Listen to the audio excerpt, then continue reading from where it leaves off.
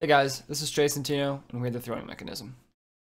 So there are six phases of the throwing mechanism. The first phase is the wind-up, the second phase is the stride phase, the third phase is arm cocking, the fourth phase is arm acceleration, the fifth phase is arm deceleration, and the sixth phase is the follow-through.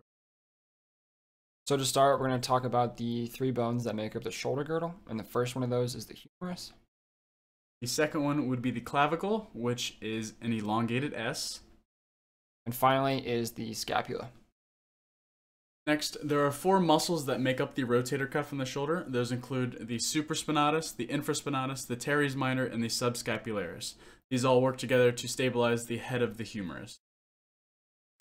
So first is the supraspinatus. Um, it's res it's responsible for ab abducting the shoulder, and it's innervated by the suprascapular nerves C4 through 6. Next is the infraspinatus, which main action would be lateral rotation and adduction of the shoulder, which is nerve innervation suprascapular C4 through C6.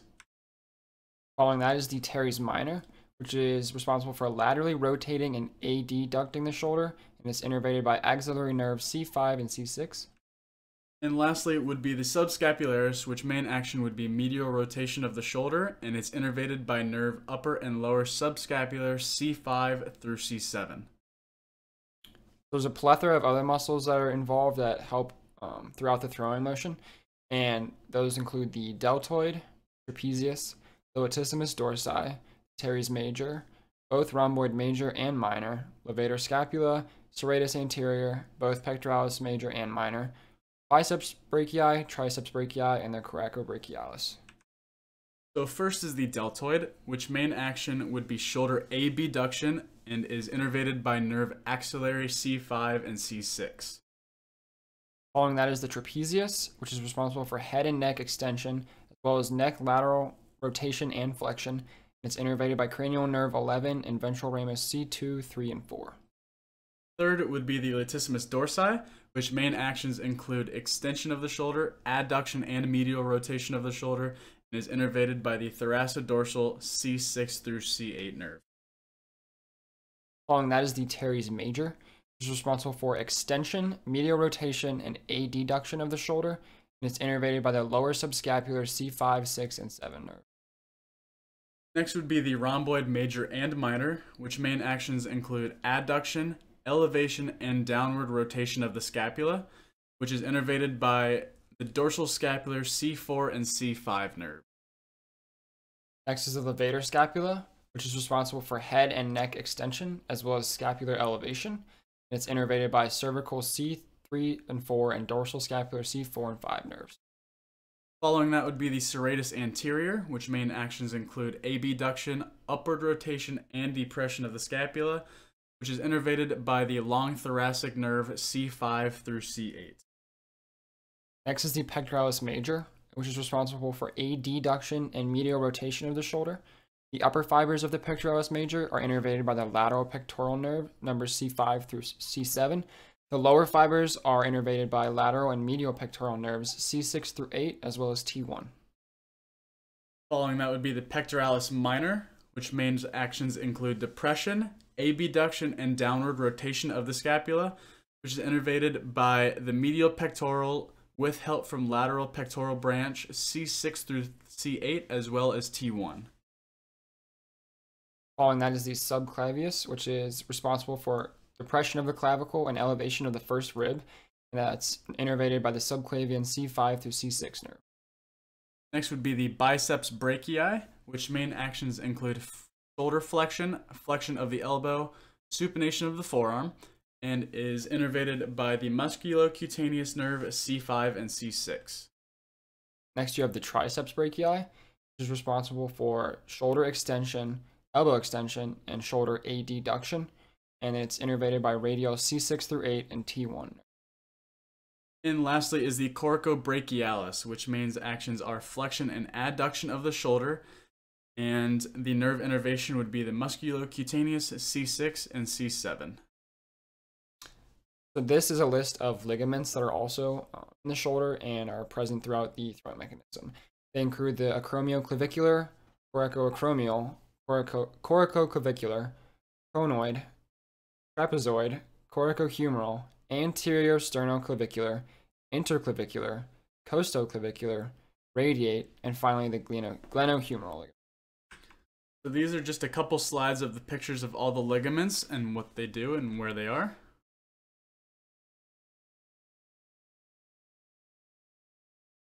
And so the first phase of the wind, the first phase of the throwing motion is the windup. So the windup is the initial stage of throwing a ball. It takes about 1.5 seconds out of the two total seconds to throw the ball, and most of the power is generated by the lower extremity, and the shoulder stays fairly stabilized throughout this motion. And because of that, the wind-up phase has the lowest risk of injuries, which vir- with virtually no complications whatsoever. Um, so some of the muscles that are involved in the the windup of the throwing motion. Um, so the main action that occurs throughout this whole motion is stabilization is the glenohumeral joint, and those muscles include the supraspinatus, the infraspinatus, the teres minor, subscapularis, trapezius, serratus anterior, as well as the deltoid. So during the wind-up, the there's scapular upward rotation and elevation, as well as shoulder abduction. So there's two different portions of the wind-up movement. Uh, the first is consent the concentric portion, in which the upper trapezius is responsible for scapular adduction, elevation, and upward rotation. The serratus anterior is also responsible for scapular abduction and upward rotation. And the anterior deltoid also abducts the shoulder. So during the beginning of the windup, this is however the thrower decides to move it. So for example, some pitchers are submarine, so they throw from a lower arm slot, whereas some come from three quarters and throw more like a quarterback might. And then during the eccentric portion uh, of the windup, the upper trapezius, so each muscle basically does the opposite of the concentric, obviously. So the upper trapezius is responsible for scapular abduction, depression, and downward rotation. The serratus anterior is responsible for scapular adduction and downward rotation. The anterior deltoid also helps with scapular adduction. This is the ending of the windup, and this is when the pitcher comes set. So they're about to start. So the second phase would be the stride phase of the throwing mechanism. So this phase is between the pitcher picking their load foot up or their front foot up off of the ground and stretching the leg all the way out to plant their foot. So this is the key phase for gaining momentum and velocity for the pitch or throw. So the key injury that can happen during this portion of the throwing mechanism is glenohumeral instability, and this may be as a result of uh, laxity within the ligament, a damaged glenoid labrum, weak muscles surrounding the glenoid uh, capsule and the cavity, or poor neurological supply. So the muscles that are involved in the stride phase of the throwing mechanism would be the deltoid, the supraspinatus, the infraspinatus, the serratus anterior, as well as the upper trapezius. So th- uh, throughout the stride, the deltoid and supraspinatus are responsible for abduction of the shoulder. The infraspinatus helps with external rotation of the shoulder. The serratus anterior upwardly rotates the scapula, and the upper trapezius elevates, upwardly rotates, and adducts the scapula. The third phase would be the arm cocking phase. Um, so this starts when the lead foot plants onto the ground. This is also where maximal external rotation of the shoulder happens, as well as posterior rotator cuff and latissimus dorsi generates posterior humeral force to prevent glenohumeral joint dislocations and subluxations. So a key injury that can happen during this phase is internal or posterior glenoid impingement. And this is where the rotator cuff tendons are compressed by the acromion process. Um, during this, the structures within the glenohumeral joint themselves are also impinged, and both are primarily caused by joint instability. The muscles that are involved in the arm cocking phase include the deltoid, the pectoralis major, the latissimus dorsi, subscapularis, triceps brachii, serratus anterior, the trapezius, rhomboid major and minor, and then the pectoralis minor. So throughout this movement, during the concentric phase, the deltoid is responsible for shoulder abduction. The pectoralis major is responsible for shoulder horizontal adduction. Triceps brachii, it does late cocking, which helps with elbow extension. The trapezius assists with scapular adduction, and the rhomboid major and minor both help with scapular adduction. So for the eccentric phase of the arm cocking motion, the pectoralis major does shoulder internal rotation. Um, the latissimus dorsi also does shoulder internal rotation, as well as the subscapularis. Triceps do the early cocking and elbow flexion. The serratus anterior does scapular abduction, and the pectoralis minor also does scapular abduction. The fourth phase is arm acceleration. This is at the point where maximal torque of external rotation is occurring. So a key injury that can happen during this phase in the throwing mechanism is the fraying of the glenoid labrum. The picture on the left um, illustrates like a partial glenoid labrum tear, whereas the picture on the right is a full tear. So I thought it was a good picture to throw up on there to see the comparison. And also what you might look at if you're looking at an MRI to try to uh, evaluate what might be going on in an athlete.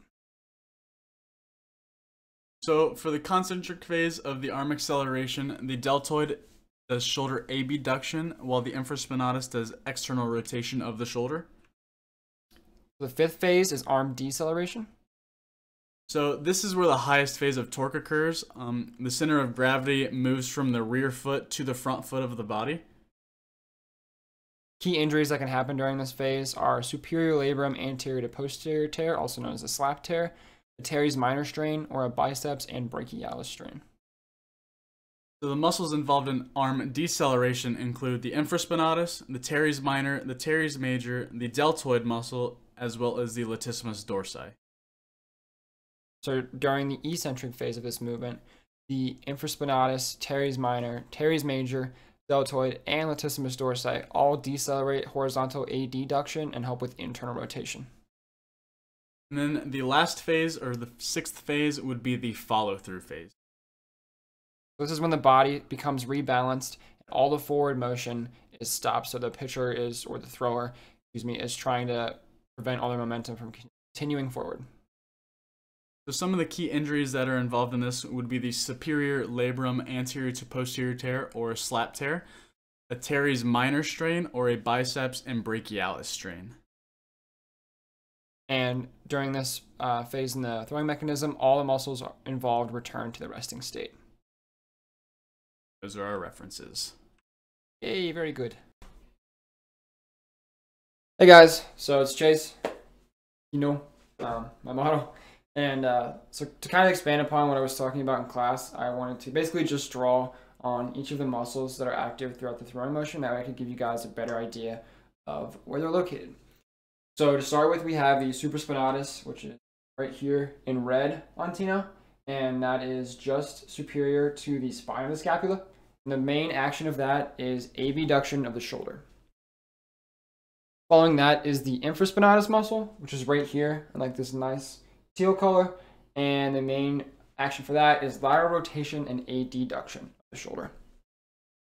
Next is the teres minor, right here in the black on Tino and that's responsible for lateral rotation and adduction of the shoulder.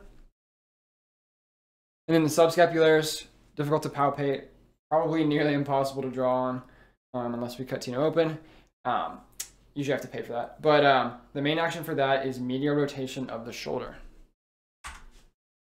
There's also a long list of other muscles associated with the throwing motion, so we're also going to delve into those. To begin with is the deltoid, here in the purple. I tried to get make sure I got all three sides of it, anterior, posterior, and lateral portions of the deltoid. And the main action of that is going to be shoulder abduction. Next is the trapezius, which is a very big muscle. Um, it's responsible for head and neck extension as well as neck lateral rotation and flexion. And that is right here in the navy blue. So it starts up here, goes all the way over here, ups down there. That big muscle right there.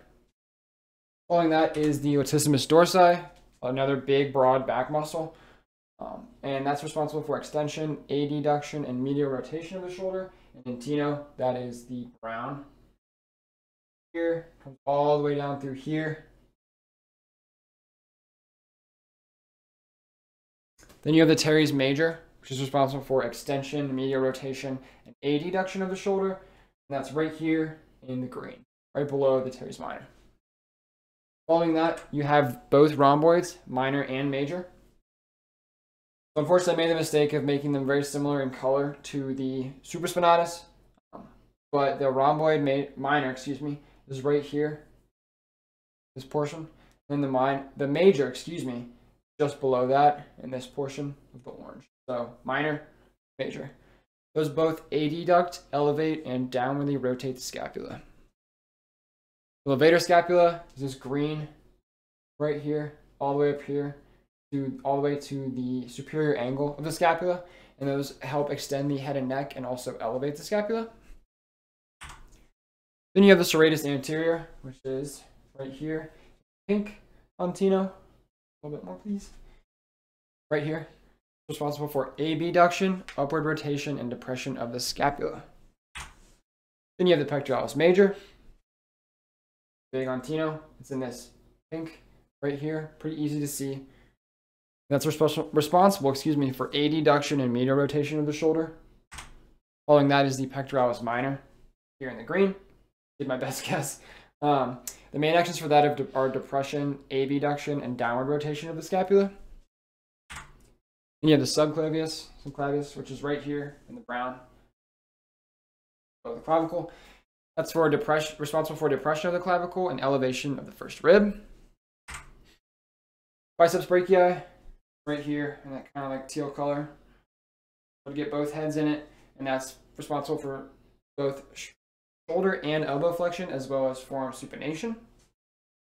And on the posterior side of the arm is the triceps brachii. Um, again, I tried to make sure I got all three heads in there, and that's responsible for um, shoulder extension, elbow extension, as well as um, shoulder adduction.